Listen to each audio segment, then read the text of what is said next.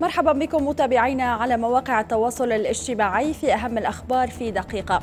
في أخبارنا السياسية البيان الختامي لقمة مجلس التعاون الخليجي في الكويت يؤكد ضرورة تنفيذ التعهدات والاتفاقات المعتمدة في المجلس ويشدد على تعزيز بناء منظومة الدفاع المشترك لدول مجلس التعاون.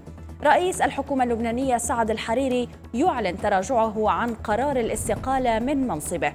الأمم المتحدة لا تستبعد ارتكاب ميانمار إبادة جماعية بحق مسلمي الروهينجا إسبانيا تسحب مذكرة التوقيف الأوروبية بحق الزعيم الكتالوني السابق كارلوس بويغديمون وأربعة من وزرائه السابقين وتبقي على المذكرة الإسبانية.